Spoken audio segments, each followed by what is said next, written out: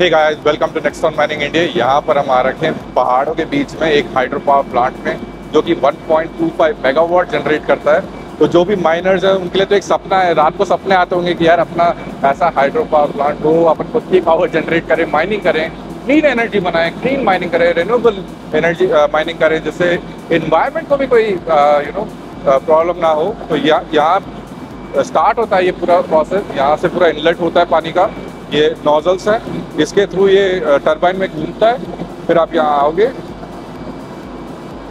तो ये इनका पूरा जनरेटर है, जिसमें मेन काम हो रहा है पावर जनरेशन का। इस जनरेटर में पूरी पावर जनरेट होती है। फिर नेक्स्ट पैनल बोर्ड में जाती है। आप यहाँ से भी देख लो कितने बड़े बड़े पैनल बोर्ड है। घर में जो लगे रहते हैं, वो तो कुछ नहीं है भाई। इसमें ये पूरी कॉलोनी के पैनल बोर्ड है राइट अब ऊपर चल के देखते हैं एक बार।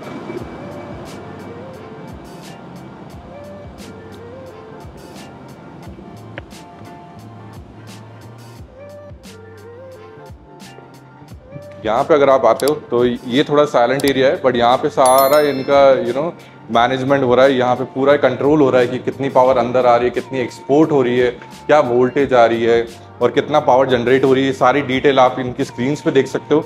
तो डिफरेंट पैनल्स है, ये जीआरएमपी पैनल है यूनिट कंट्रोल बोर्ड है सिंक पैनल है मतलब इम्पोर्ट और एक्सपोर्ट का, और ये मेन एल पैनल कहते हैं इसे। तो ये सब पैनल्स ज़रूरी रहते हैं एक हाइड्रो पावर प्लांट को चलाने के लिए। और उसके बाद अगर आप उधर देखोगे तो वहाँ पे एक ढाई मेगावाट का ट्रांसफॉर्मर है।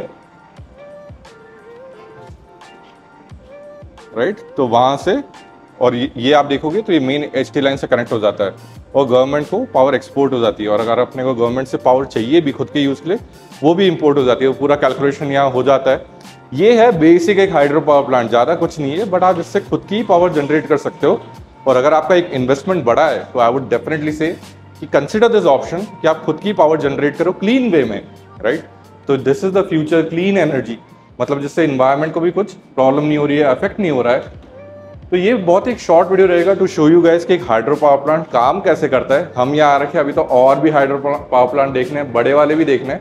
बट इसमें क्या था सिंपल तरीके से तीन चार आइटम्स तो आपको समझ में आ जाएगा। बड़े पावर प्लांट्स में सौ मशीन सौ पैनल्स रहते हैं। इट बी डिफ़िकल्ट तो इस वाले पर्टिकुलर पावर प्लांट में नीचे भी एक फ्लोर है, जहाँ पे मेन इनका पैनल है राइट तो इतना ही है हाइड्रो पावर प्लांट में। That's it for this video guys take care everyone all the best